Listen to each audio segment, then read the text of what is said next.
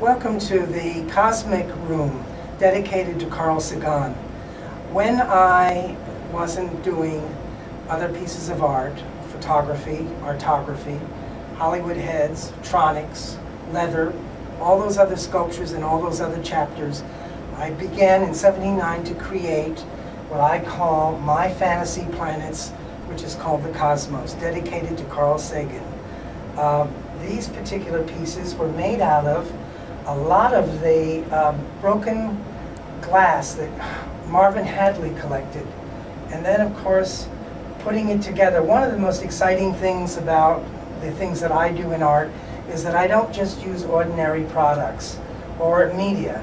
I'll mix my own paints and uh, these are the four of the major Cosmos pieces. These pieces to me are my imaginary fantasy planets where my in my in my ideas of who lives on these planets, I feel that some of the things that we do through our wearable art and of course our Hollywood heads. So when media starts picking up the things with uh, about my artwork, I portray these particular pieces like Saturn and Mars and all those wonderful things.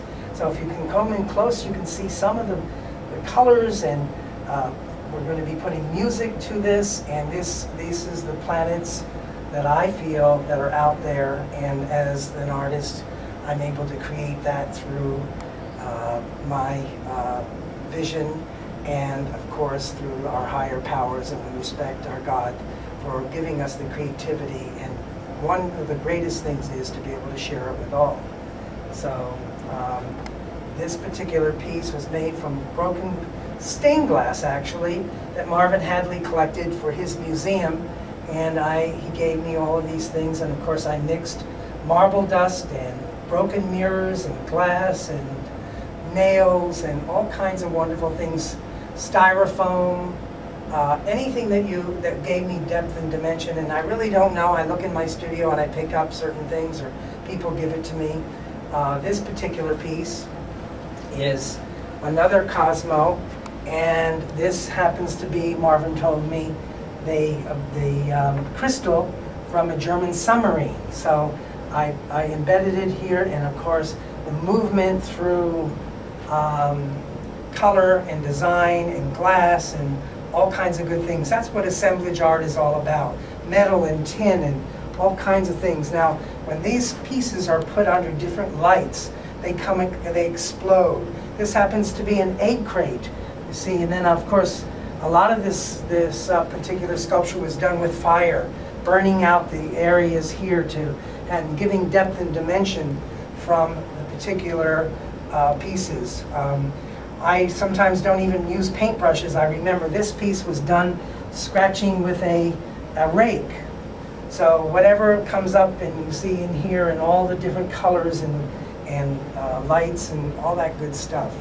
Anyway, these are the planets, and if you see close-ups of them, then take a look at that particular piece. That has an awful lot of, that's very Hollywood, and as you saw, the different shadows and the different things come together, the lighting, it makes a big difference. I'm going to show you what, what, what different lights do uh, create on this, these particular planets. See the difference when you light them differently, from low to high colors. There's no light. There's more light.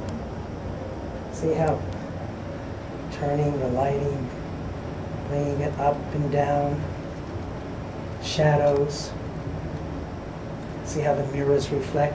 So it's a whole nother dimension on how a piece can look.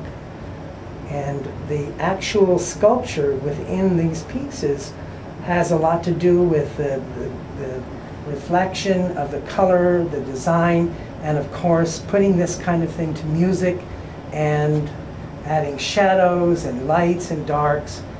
You have not only a piece of art, but you have an environment that can make people happy and more than that, to bring out the creativity because everybody uh, is an artist in their heart and soul, whether they create or they appreciate the creation.